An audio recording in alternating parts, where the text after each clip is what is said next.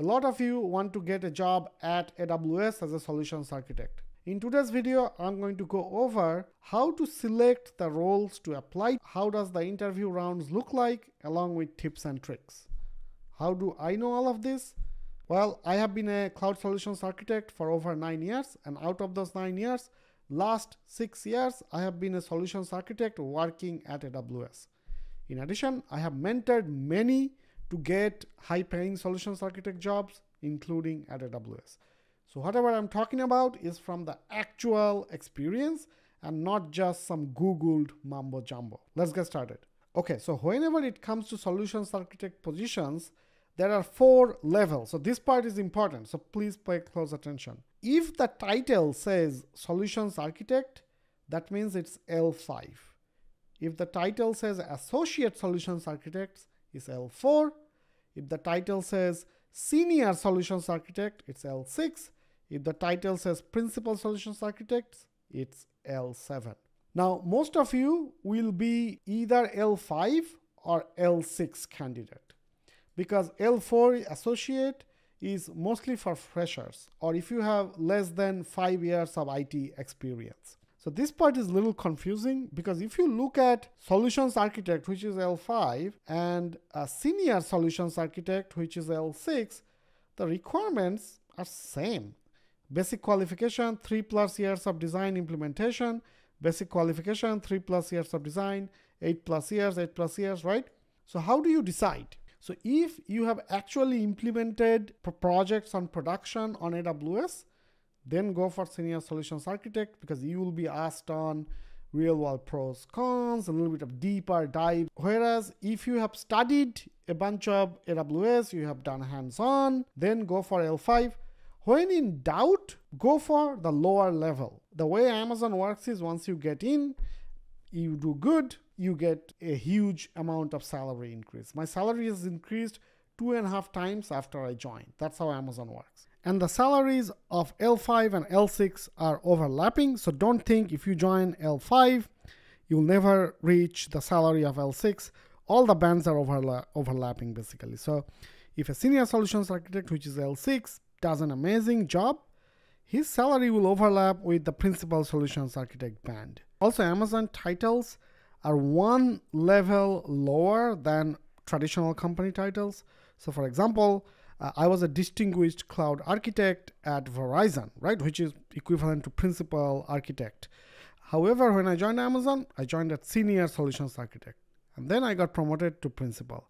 Similarly, sometimes folks who are director in external companies will join as senior manager. So don't think too much about the title. If you do a good job, Amazon gives you a lot more money from the second year and the salaries overlap between bands.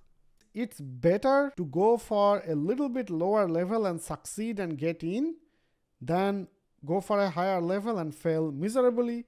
And then depending on the interview you may be blacklisted for six months one year etc talking about interviews if you want to get a aws cloud interview guide with popular interview questions including technical and behavioral the system designs and study notes including this year's reinvent updates go to www.cloudwithraj.com slash free guide to download this beautiful pdf all right, back to the video. So now let's say you have chosen either L5 or L6. Now there are four broad categories of solutions architect. Most number of solutions architect jobs are general solutions architect. So if the title says solutions architect, senior solutions architect, or enterprise architect, they're all general SA. General SA is pre-sales. So we will work with the customer, help them design the solution, help them uh, give them a design on migration from data center to AWS, do proof of concept, run immersion days, workshops to help them upskill it. But we will not do hands-on keyboard work for the customer. Which brings me to the second type of solutions architect, which is ProServe or Professional Services Solutions Architect. They will either have AWS Professional Services like it's here, or they will have the title as Cloud Infrastructure Architect. General SAs will not have this Cloud Infrastructure Architect because um, you know AWS is providing the infrastructure, right? So basically ProServe has to know deeper on how to provision those infrastructure and how to deploy application on those infrastructure. And if you click on the job and you go here, let's say cloud infrastructure architect, healthcare, global health and nonprofit, it should say professional services. Here you go. On the right, it says AWS professional services. So if you are a super hands-on guy and uh, you, you are doing infrastructure as code, uh, you know how to troubleshoot, you are a SRE today, then professional services will probably be a better fit. But if today you deal with multiple internal teams, you help system design on those teams, help them on board, this, that, then general SA will be a better fit. The next type is partner solutions architect. In this case, it is little straightforward. The name, the title will say that, like partner solutions architect. Let's say, for example, SAP, right? So SAP is one of our AWS partner, and the partner solutions architect will work with SAP to help SAP modernize and cost optimize their internal systems, as well as work with SAP's end customer right, and help them onboard into AWS. The last kind, which has the fewer opening or the fewest opening, is the specialist solution architect. So in this case, so this is actually in my team, um, senior GTM specialist solutions architect, and then the name of the technology. Um, so GTM is go to market. So this part is new. Uh, so go to market means not only you will help customer design on containers and do the stuff that solutions architect do. Also, you understand how what it takes to create a market motion. So maybe uh, someone is running Kubernetes on EC2 or regular on-prem. So you can come up with a methodology to migrate them from on-prem Kubernetes to Elastic Kubernetes Service. So a little bit on the market side, a little bit on the business side. Now, only apply to these roles if you are super deep in it, right? Because see, it says this is for containers and it says this, this position will help our largest customer adopt EKS, ECS, Fargate, and other AWS container offerings. So let's say, for example, when I joined AWS, I joined as a general SA, enterprise architect, okay? And then I, I got deep in Kubernetes and serverless, then I became a specialist solutions architect. All right, so now that we understand different levels of SAs and different job family, let's talk a little bit about the interview process. So the first round is online assessment round. This is a new round because of the number of people that are applying these days. This is a, a non-proctored assessment. No one is going to check when you are doing this. So this is both technical and behavioral in technical, you have to select from different areas like analytics, infrastructure, compute, etc., etc. You have a lot of choices. I think you have to select two or three, and then you will be given a series of multiple choice questions. If you are someone who actually studied AWS or have a certification, you should be able to pass that. Now, the behavioral is a little bit trickier. This is still multiple choice questions, they're going to ask you, hey, if you in this situation, what will you do? So you have to just select. If you have studied the Amazon leadership principles, you should be good here. I'm giving you a secret tip. If you do better in the technical round, in this case, you should be moved to the next round. Unless there is a huge red flag on the behavioral round that basically you clearly going against all the Amazon leadership principles. So for example, customer obsession. If you repeatedly say that constantly prioritize yourself before your customers in more than one questions, those are red flags, right? But generally speaking, if you do great in the technical and then behavioral, if you apply common sense, you should be good. If you pass this online assessment, then it will be telephonic interview. And this is general for all AWS uh, interviews. Uh, unlike other companies, AWS interviews are done, done by one primary person. Most of the time, it will be just one person and sometimes there will be another person shadowing the interview and rare cases the shadow will jump in and ask question and most of the time it will be just be one person. The telephonic interview will be mostly be technical perhaps one or two leadership principle questions. Now the telephonic interview the technical part will be like a rapid fire question. In some cases they might ask you to do system design but generally system design is, is reserved for the actual loop.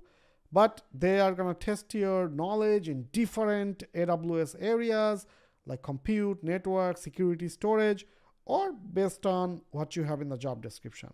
So let's say if you are going for specialist SA for containers, which I am, almost all the questions will be related to containers, right? Once you pass the telephonic interview round, then you will be passed to the infamous loop round, okay? So here you will have five to seven different loop rounds depending on the team and your level. And this and these loop rounds are a mix of technical and behavioral. For the behavioral round, you have to give actual example from your projects. So let's say one common example is tell me a time where you have went above and beyond for a customer. So you have to actually give an example from your projects. You cannot say, oh, I will do this, I will do that. Then the interviewer will say, no, no, no, no. Tell me an actual example you have done. Another major misconception is all these answers need to be on AWS, which is not true. You can give examples of your on-prem projects. And we expect the answers in the star format, which is situation, task, action, results. Actually, us interviewers take our notes in that format as well. The recruiter should tell you that, hey, you should give answer in the star format. So look, I understand every format has some flaws, but you know the rule of the game, right? So if recruiter told you to do in the star format, in the online research, you found out we expect the answers in the star format, so please give the answers in the star format to increase your chances. Uh, if you want to know an actual actual example with a bad answer and a good answer, check out my other videos. Uh, I'll, I'll give a link up top. And also another tip is don't just say we, we, we. We want to know what have you done. So think of it like a selection process in sports. You are gonna play in a team sports like soccer or American football but when you go for selection committee, you are judged based on how you bowl, how fast you run. So think, think like the same way. So those are the behavioral round. You might also have, especially if you are L6, you might also have a dedicated system design round where we might say, hey, design this YouTube, design this, design that. So watch my system design uh, videos or the course, that should give you an idea how to think about different system designs, right? My whole channel is based on that. Now, recently, you could also have a presentation round. Previously, when I joined, I, I had a presentation round with all the interviewers, and it was one hour presentation round. The current presentation round is with one person, and it will not be the whole round. It would be like maybe 20 minutes, 30 minutes presentation, rest of the time leadership questions or uh, technical questions. Uh, and the recruiter will give you what we are looking for in the presentation round, like the business objective, da da da da, all that stuff. So don't worry too much about it. If you have actually done a project, it will be easy for you. And this project does not need to be on the cloud. You could show a project that you have done even on prem or even another cloud we are testing you on your how you communicate, how you present, and how you handle objections, right? So those are the objectives. Okay, and if you pass the loop round, that's it. Congratulations, you are in. All right, so if you have any questions, let me know in the comment section. Hopefully this helps you on your job search, and hopefully I see all of you inside AWS. All right, folks, that's it for this one. I'll see you guys and girls in the next one. Bye.